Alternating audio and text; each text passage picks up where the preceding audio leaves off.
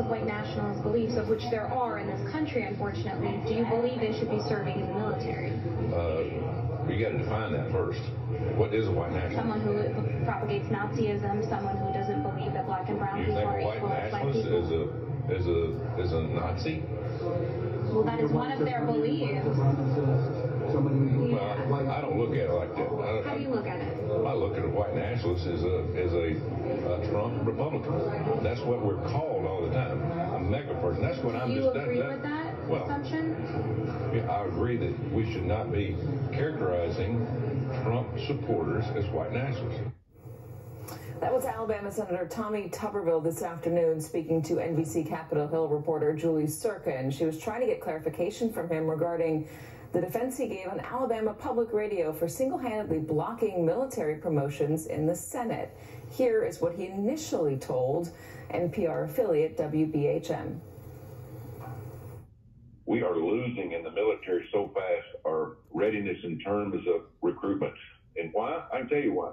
Because the Democrats are attacking our military, saying we need to get out the white extremists, the white nationalists, people that don't don't believe in, in our agenda as as uh, Joe Biden agenda.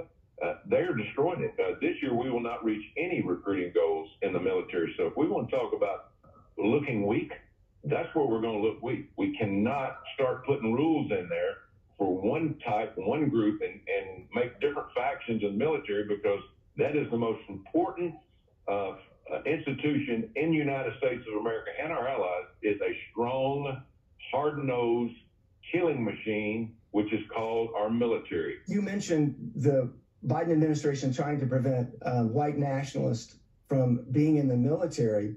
Do you believe they should allow white nationalists in the military? Well, they call them that. I call them Americans.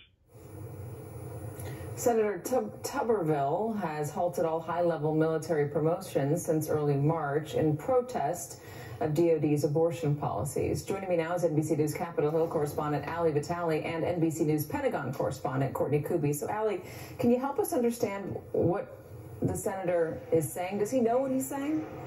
Yeah, we've sort of lost the plot here because the part that's more tangible is the way that Tuberville has been blocking these military promotions and nominations. And there has been a lot of talk here on Capitol Hill about this blanket ban and, of course, the national security implications of that, which, of course, court is going to get into and knows so well. Tuberville, for his part, says he's not going to be moving on those kind on those blocks until he sees DOD's policy around covering abortion expenses change. Doesn't sound like that policy is going to change anytime soon. But now here we are in this white nationalist conversation where he's asking reporters in the hallway to both define what a white nationalist is and also seemingly airing a political gripe about the way that some Trump supporters are supposedly talked about.